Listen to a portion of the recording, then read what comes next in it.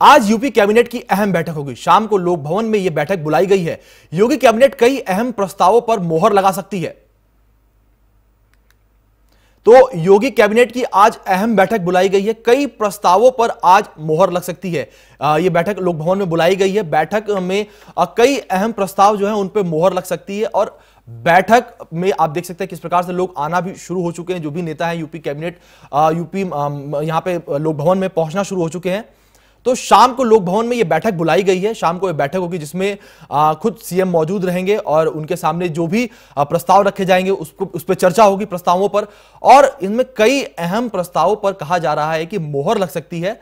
और अभी देखने वाली बात होगी शाम को बात सामने आएगी कि कौन कौन से प्रस्ताव है जिन पे मुहर लगी है। तो आपको बता दें कि शाम को लोक भवन में यूपी की बैठक बुलाई गई है। शाम को बैठक होगी। कई अहम प्रस्तावों पर यहाँ मोहर लगेगी और सीएम योगी आदित्यनाथ खुद इस बैठक को लीड करेंगे। हमारे संवाददाता आदित्य द्विवेदी इस पूरे मामले पर हमारे साथ जुड़ रहे हैं। तो आदित्य, ये बैठक बुलाई गई है। क्या लगता है कि कौन कौन से ऐसे फैसले हैं जिन पर मोहर लग सकती है? देखिए, एक साप्ताहिक रूटीन की बैठक है जो हर मंगलवार को होती है, जिसमें जो सारे मुद्दे उठाए जाते हैं, उसमें औद्योगिक समस्याओं से लेकर के किसानों की जो समस्याएँ होती हैं, कृषि से संबंधित, इसके अलावा विकास से संबंधित जो मुद्दे होते हैं, उनमें क्या प्रोजेक्ट चल रही है, इन सब चीज़ों की चर्चा होगी। उसी, वो रूटीन बैठक आज भी होनी है, हर मंगलवार को होती है। जब कभी मुख्यमंत्री सुबह, अगर शाम को बिज़ी होते हैं तो ये बैठक सुबह अर्ली मॉर्निंग में बुला ली जाती है। आज शाम को ये बैठक संपन्न होनी है, लोक भवन में जिसमें कि फ़ेज़ टू का जो मेट्रो का काम है, उस पर भी चर्चा होने की उम्मीद है। आदित्य, जिस तरीके से देखा गया था अभी पिछले कुछ दिनों पहले सीएम योगी ने जो 500 किसान थे डायरेक्ट उनसे संवाद किया डायरेक्ट उनसे बात की थी और उनकी समस्याओं को समझा था और जो अधिकारी थे, उनको निर्देश दिए थे कि आप जो भी इसमें बेहतर कार्य हो सकता है, उसको करिए। तो क्या जो वहाँ पे सीएम ने खुद मुद्दे सुने थे या जो प्रॉब्लम्स थी किसान किसान की, उसको सुना था तो उसको लेकर जो भी विभाग के लोग हो सकते हैं, उनको कुछ निर्देश जारी कर सकते हैं?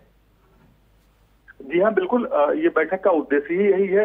पिछली बार भी जो किसानों से संबंधित जितनी भी समस्याएँ थी, उनको त्वरित कार्रवाई कर निपटाने की बात कही गई थी। इसके अलावा किसानों का एक बड़ा मसला है, जिसमें कि मृतक एक्सीडेंटल जिसमें किसान नहीं रहते हैं, खत्म हो जाते हैं, मौत हो जाती है, उससे जो मुआवजे है, मुआवजा की जो राशि है इंश्योर्ड उसके भुगतान को लेकर काफ़ी शिकायतें आ रही हैं।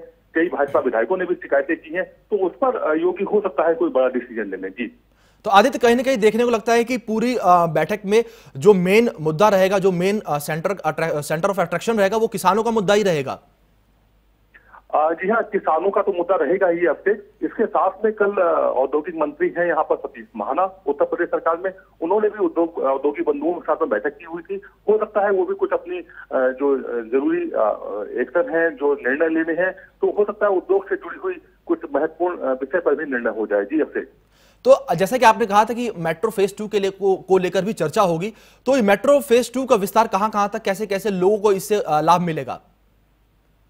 देखिए अभी जो मेट्रो चलती है वो मुंशी पुलिया से अमोसी एयरपोर्ट तक जाती है। एक बनवे सिंगल मतलब रूट है जो आ, हम कह सकते हैं कि एक तिहाई आबादी को सिर्फ़ कवर कर रहा है जिससे लखनऊ की एक तिहाई आबादी ही लाभान्वित हो रही है। लेकिन अगर फ़ेज़ टू शुरू होगा तो काफ़ी बड़ा area more than 75 percent area cover हो जाएगा और सीधे सीधे लखनऊ के लोगों को इसका फ़ायदा होगा। जी। आदित्य बहुत बहुत शुक्रिया आपका हमारे साथ इस खबर पर जुड़ने के लिए।